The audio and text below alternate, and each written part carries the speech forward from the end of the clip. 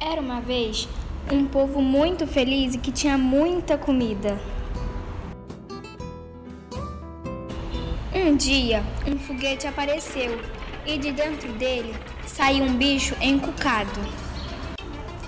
Ele comia tudo o que via: sapo, pássaro, lagarta, plantas e casas.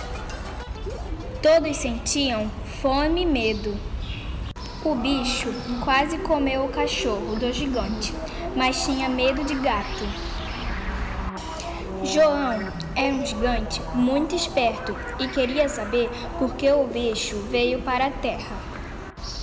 Um dia achou um ovo vigiado por uma cobra. O bicho encucado apareceu chorando e João entendeu que o ovo era dele.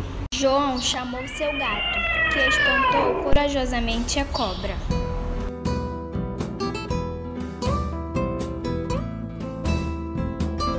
O bicho encucado resgatou seu ovo e foi embora.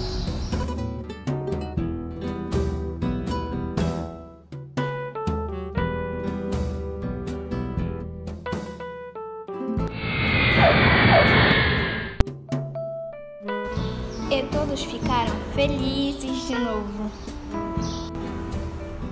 E fim.